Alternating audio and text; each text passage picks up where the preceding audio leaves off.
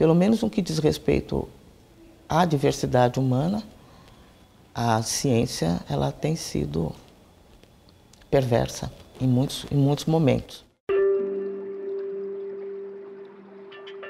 Nós produzimos uma forma de ciência, uma forma de civilização e não foi capaz de coexistir, digamos, harmonicamente com diferentes outras civilizações produzidas pela humanidade.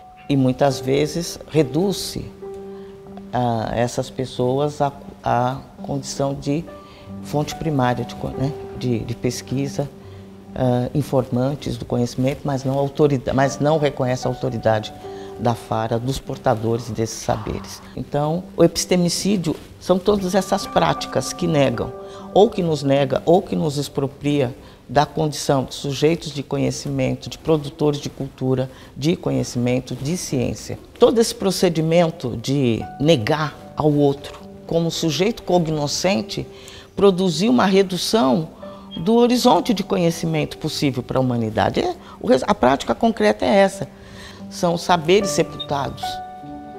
O que nos coloca o desafio de, bom, muito bem, isso é o que nós temos sido muito eficientes para discriminar, excluir, uh, causar esse tipo de dano a seres humanos.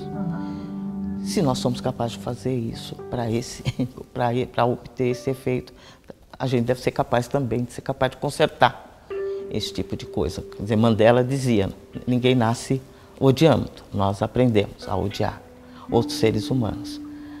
Mas se a gente aprende a odiar, a gente também pode ser capaz de inverter isso e nos sermos capazes de ensinar a acolher, aceitar e nos regozijar com a diversidade humana.